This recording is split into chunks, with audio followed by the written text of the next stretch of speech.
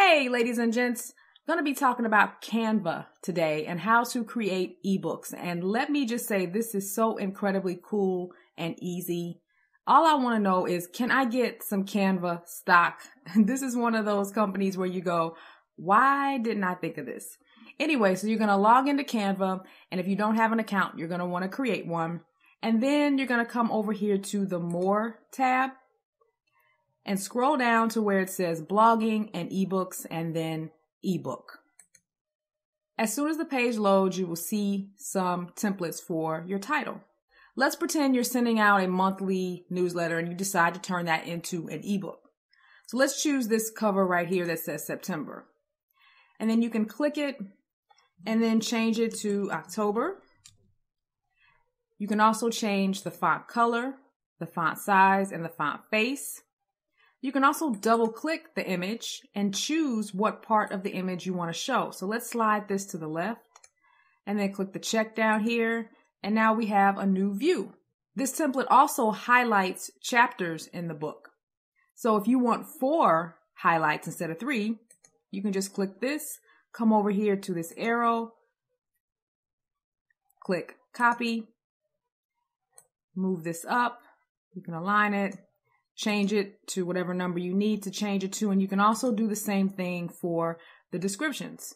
And just like the title and text up here, you can change the font size, color, and everything like that. Really simple. So this is your cover. Now let's create the content for the book. So we're going to come down here to add new page. Now let's add our heading. So we're going to come over here to the text tab and click add heading. And we'll just type heading one and then we can move this up here like this. And we can come back over here to add a little bit of body text. And let's pretend we've typed some text and then just move this up wherever we want. Now let's create a container for our text. When you put your cursor in this search box, you get these categories. So let's click shapes and I'm looking for a shape with an empty fill or no fill. So let's choose this one.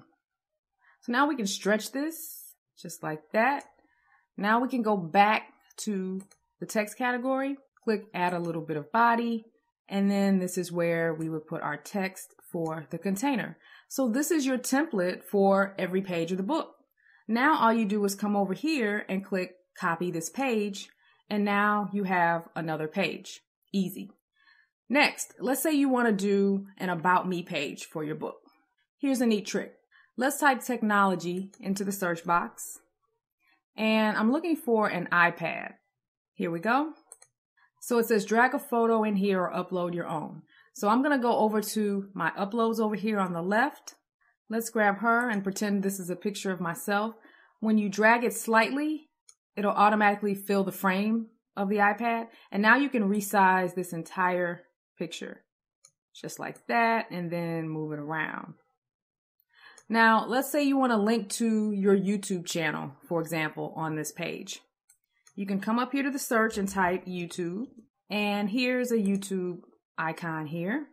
Let's just resize this a bit here and drag it. Oh, that's too big. Now this layout isn't necessarily what you do. I'm just trying to show you what's possible.